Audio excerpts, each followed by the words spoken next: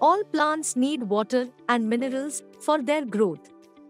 There is continuous uptake of water by plants. Excessive water gets accumulated inside the plant, which should be removed.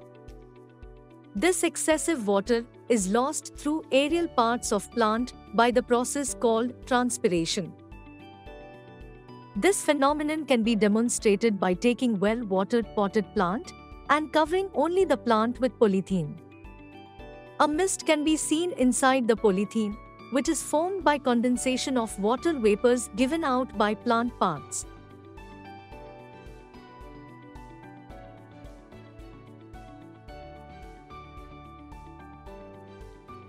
Plants lose water from stem and leaves through special structure. Leaves bear small pores called stomata.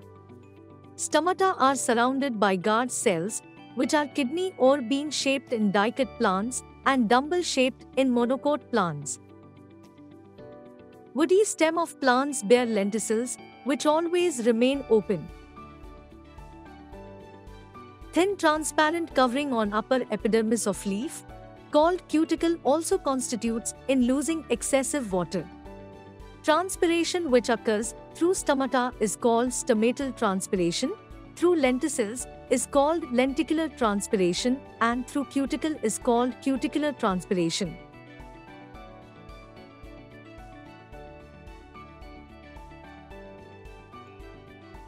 Water from soil is absorbed by root hairs by the process of osmosis. This water then diffuses through cortical cells, endodermis and enters xylem vessels in roots.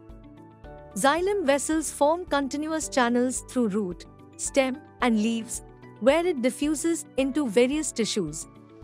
Excessive water gets collected in substomatal space and passes out in air as water vapors.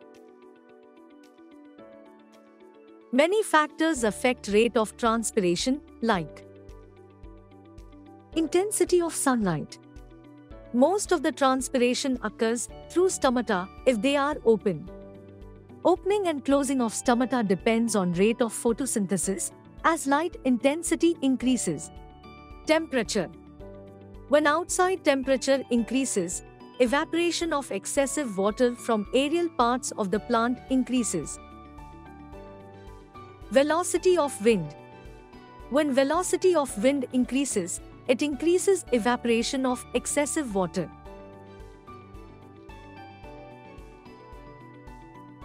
Humidity. It is the water vapors present in the air. More humidity decreases water holding capacity of air and transpiration decreases. Intensity of carbon dioxide. Increased intensity of CO2 increases photosynthesis, due to which stomata remain open and transpiration increases. Atmospheric pressure.